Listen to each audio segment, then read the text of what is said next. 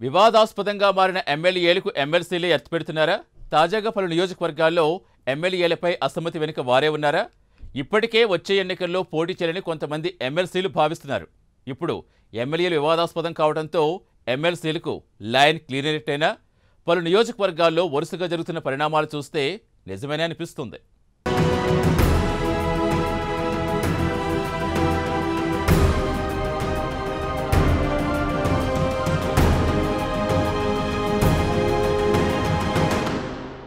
రెండు వేల పద్దెనిమిది ఎన్నికల్లో పలువురు ఎమ్మెల్యేల గ్రాఫ్ బాగా లేకున్నా గులాబీ బాస్ కేసీఆర్ టికెట్లు ఇచ్చారు.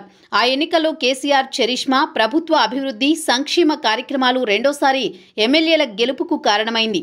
అయితే ఆ విజయాన్ని కొంతమంది ఎమ్మెల్యేలు నిలబెట్టుకోలేకపోయారు. వివాదాల్లో చిక్కుకొని అబాసు పాలయ్యారు.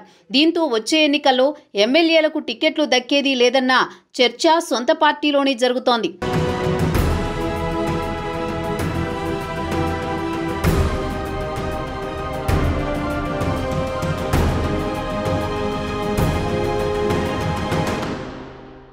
తాజాగా పలు నియోజకవర్గాల్లో ఎమ్మెల్యేలపై సొంత పార్టీ నేతలు తిరుగుబాటు జెండా ఎగురవేశారు. మహబూబాబాద్ ఎమ్మెల్యే శంకర్ నాయక్కు వ్యతిరేకంగా ప్రజాప్రతినిధులు రహస్య సమావేశాలు నిర్వహిస్తున్నారు. వచ్చే ఎన్నికల్లో శంకర్ నాయక్కు టికెట్ ఇస్తే పనిచేసేది లేదని తేల్చి చెప్తున్నారు. దీని వెనుక ఎమ్మెల్సీ తక్కెళ్ళపల్లి రవీందర్రావు ఉన్నారన్న టాక్ వినిపిస్తోంది. ఇప్పటికే శంకర్ నాయక్ పలు వివాదాల్లో ఉన్నారు.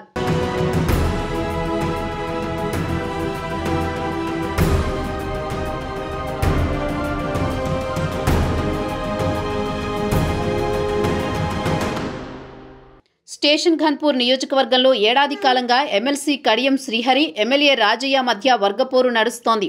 నిత్యం ఇరువర్గాలు పోటాపోటీ కార్యక్రమాలు చేస్తూ నియోజకవర్గంలో రచ్చ చేస్తున్నారు. ఇటీవల ఎమ్మెల్యే రాజయ్య పలు వివాదాల్లో చిక్కుకోవడం కడియం శ్రీహరికి అడ్వాంటేజ్గా మారింది. దీంతో ఆయన స్పీడ్ పెంచారు. ఇది తట్టుకోలేని రాజయ్య మాటల దాడి పెంచారు.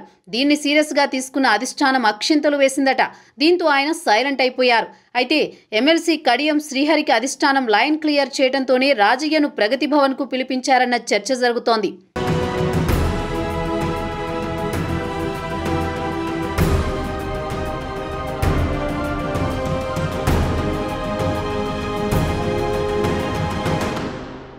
జనగామ నియోజకవర్గంలోనూ సేమ్ సీన్ రిపీట్ అవుతోంది. ఎమ్మెల్యే ముత్తిరెడ్డి యాదగిరి రెడ్డికి వివాదాలు కొత్త కాదు. పలుసార్లు ఆయనపై ఆరోపణలు వచ్చాయి.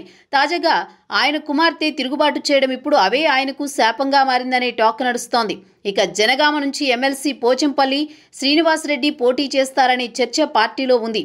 ఇక అప్పుడప్పుడు పోచంపల్లి ఆ నియోజకవర్గానికి వెళుతుండడం ఎమ్మెల్యే ముత్తిరెడ్డికి నచ్చడం లేదట.